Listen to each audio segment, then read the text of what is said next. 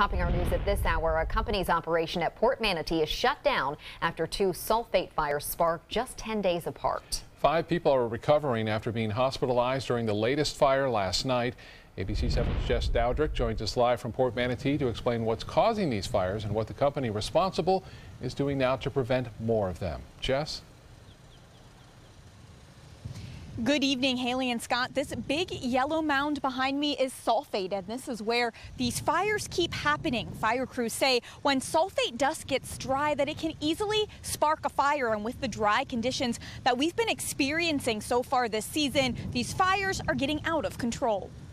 A spark from a piece of equipment is being blamed for the fire that erupted on a sulfate pile at Port Manatee Wednesday night. We had a similar incident about two weeks ago. 10 days earlier, sulfate dust also created another fire that engulfed a truck in the same location.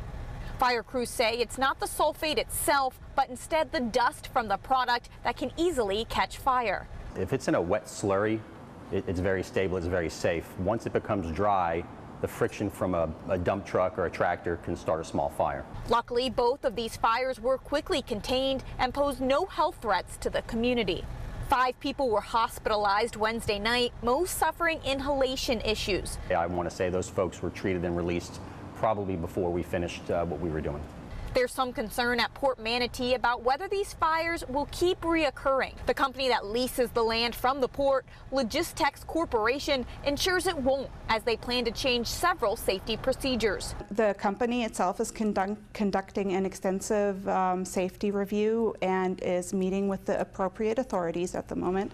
And um, they will implement measures to ensure that an incident does not happen again. Logistec executives say health, safety, and the environment are their top priorities, so they've shut down the operation until changes are made.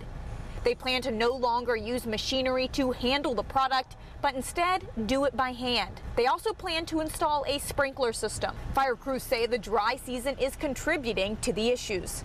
Their process is to keep the slurry on the loading docks where the dust accumulates uh, fairly wet and they do that on an hourly basis. More than likely what we suggested to them and what I think they're going to do now is instead of running that water truck around by the hour, they're going to do it probably every half hour to every 45 minutes to keep that stuff wet. They don't want this to happen again. We don't want it to happen again.